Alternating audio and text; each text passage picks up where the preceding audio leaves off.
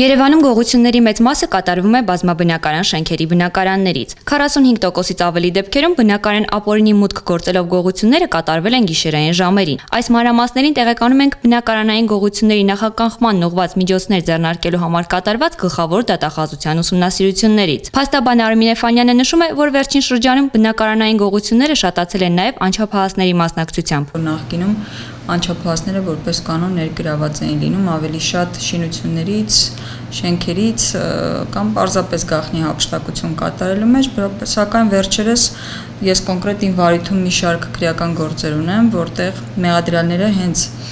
բնական ապօրինի մուտք գործելու եղանակով կատարված գողության մեղադրանքով հենց անչափահասներ են։ Հանրային պաշտպանի խոսքով նման դեպքերը բարդ է բացահայտել եւ բացահայտման հիմնական բեռը ի սկզբանե դեպքի տարածքում աշխատող փորձագետների վրա է։ Բնակարանային գողությունների մեծ մասը չի բացահայտվում հենց դեպքի վայրի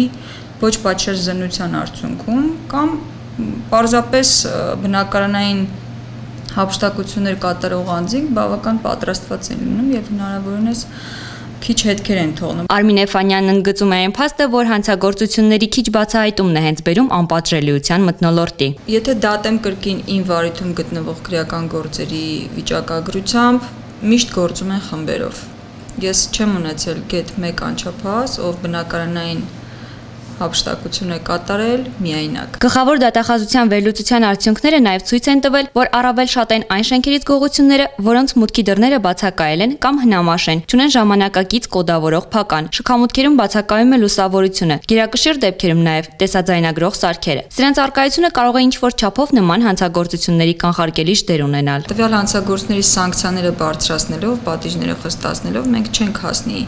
արդյունավետության, ես կարծում եմ արդյունավետության կհասնենք պատասխանատվության անխուսափելիության ապահովման։ Սպանությունների սանկցիաներն էլ բարձրացրեցինք։